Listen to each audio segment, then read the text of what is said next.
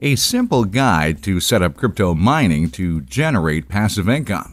In the wise words of Warren Buffett, if you don't find a way to make money while you sleep, you will work until you die. If there's anything the pandemic taught us, is that we all need an alternative source of income to add to the one we get from our primary job.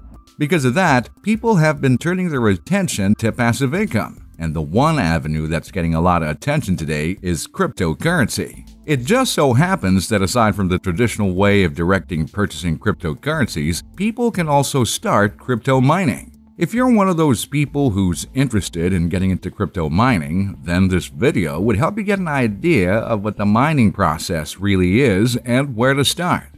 If you like this video, then don't forget to give it a thumbs up and click that subscribe and notification bell to get future updates on new videos from Big Brain Money. What is crypto mining?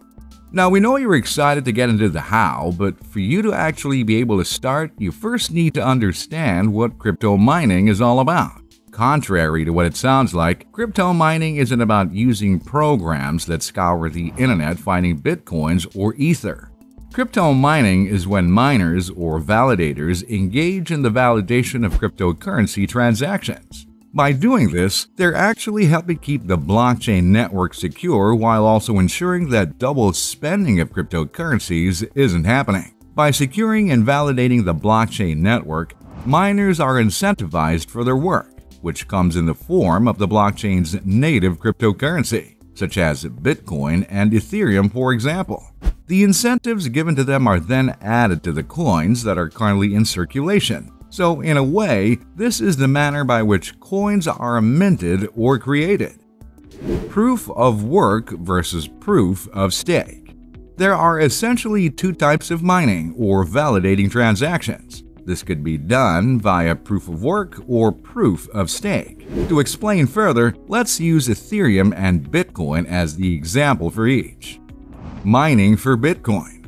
Let's say you wanted to mine for Bitcoin. That would mean that your method of validation would be via proof of work. The term work is used because miners from all over the world verify transactions through processing power.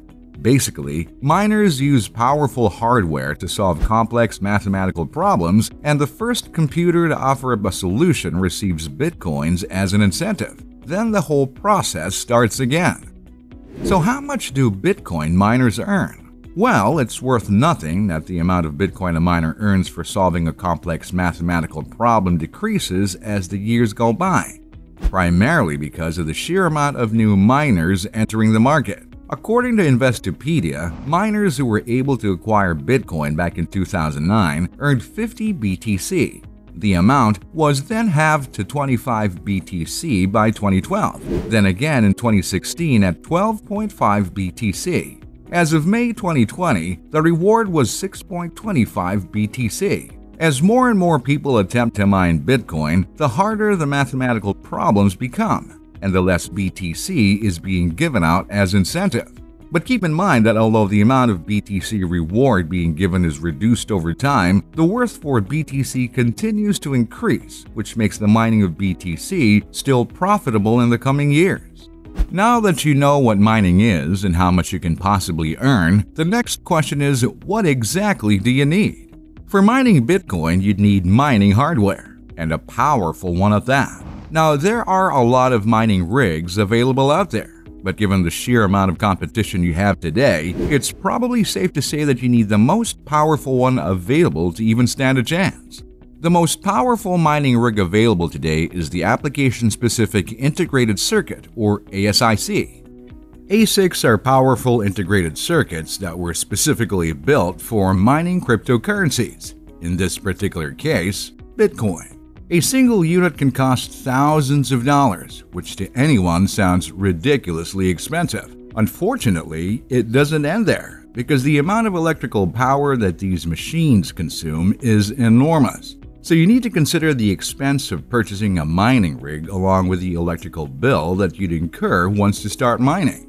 There are cheaper ways of mining Bitcoin, such as renting mining gigs, but having one of your own is considered to be the most secure way of going about it.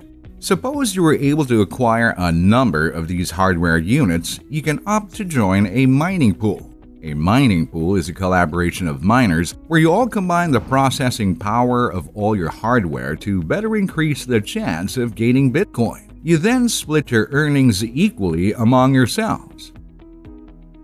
Mining for Ether. So that's for Bitcoin. What about mining Ethereum? For Ethereum, we use the proof of stake mechanism. Ethereum developers acknowledge the scalability issue that comes with the proof of work method, which is why they chose to adapt the process to something more practical for their network. In this method, staking is the process in which miners would stake their own crypto for the chance to be picked to validate a transaction or update a blockchain. Once the validation or update is complete, the randomly chosen validator would earn the reward, again with the network's native cryptocurrency. This method is used not just for Ethereum but for other cryptocurrencies as well, such as Cardano, Atmos, and Tezos. The higher amount of coins you stake, the higher the likelihood of being chosen for the validation process. It must be noted, however, that you can also mine ETH using the proof of work model. That would entail, again, purchasing a mining rig or opting to use other cheaper mining services. If you decide to purchase a mining rig for mining Ethereum, it doesn't necessarily have to be as powerful as an ASIC. Other mining rigs, such as a GPU, can be used and are proven to still provide a decent reward.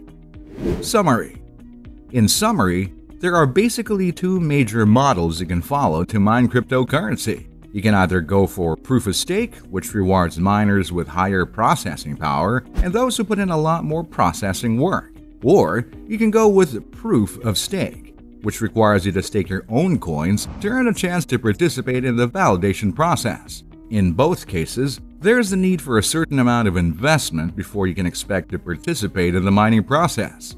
The more time and money you invest, the greater the chance for you to be rewarded with cryptocurrency. Each cryptocurrency may have specific instructions on how they go about the mining process, but the two major ideas still apply. So before you actually start mining cryptocurrency, you need to decide what specific crypto you want to mine for. It's also beneficial that you learn other mining services, such as renting mining rigs or mining via the cloud. Each has its own advantages and disadvantages. Therefore, you must choose the method that best suits your budget and the amount of risk you're willing to take for the process. Was this simple guide to set up your crypto mining helpful? If so, smack that like button. If not, hit the subscribe button comment down below and be sure to watch these other videos from Big Brain Money.